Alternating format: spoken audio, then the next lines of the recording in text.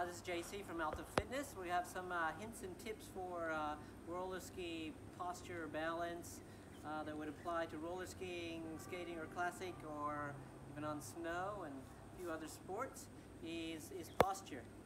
Posture, posture, posture. And if you've downhill skied, it's similar to downhill ski but not 100% quite right.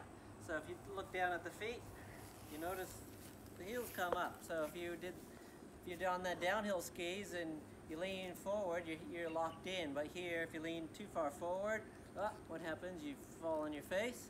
But you do want to be forward. In downhill skiing, you can get away with leaning back because you got the big heavy skis and boots. Here in cross-country skiing, it doesn't work.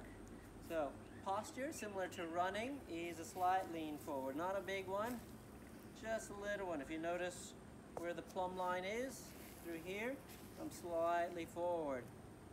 Not a lot, but do not don't sit back. You're in trouble if you start sitting back.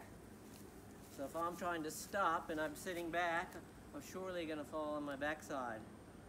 Same applies if you lean too far forward. It's but better to lean for, a little bit more forward than too far back. Other tip is making sure the knee and toe line, line up, that you're not collapsing in like this. That's no good. So keep, keep the toe and knee nice and lined up from one side to the other. Thanks for watching. We'll give you some more hints and tips next week.